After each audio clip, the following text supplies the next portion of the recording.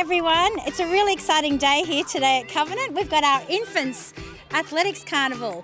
It's so full of colour and fun and giggles and it's been a really lovely experience up here.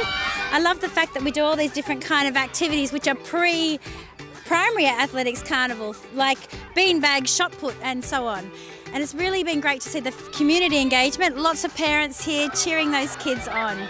It's really exciting that we actually can get together and be a community and really enjoy and appreciate gifts, whether they're little gifts or big gifts, or and also really to enjoy the effort that the kids are putting in. The great thing about today is that it really prepares them for the primary experience. So we actually had our primary athletics carnival two weeks ago, and that was fantastic, full of colour and enthusiasm, and even a sprinkler you may have heard.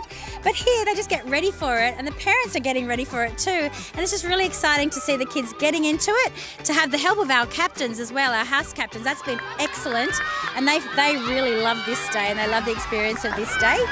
And just it really gets them ready for that for the events that go on right up till year 12. So this is my impression of the day, but let's hear from the kids. What do they think of today? Uh, my favourite race has been the racing where everyone's racing and it's just been a lot of fun. When you try your best, it's not always about winning.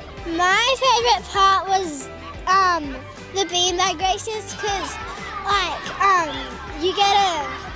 lots of fun and it's not like so far. Um, probably because you get to do lots of fun sports and yeah. I think my favourite race I'm looking towards today will be the 800 because you get to run and have a lot of fun.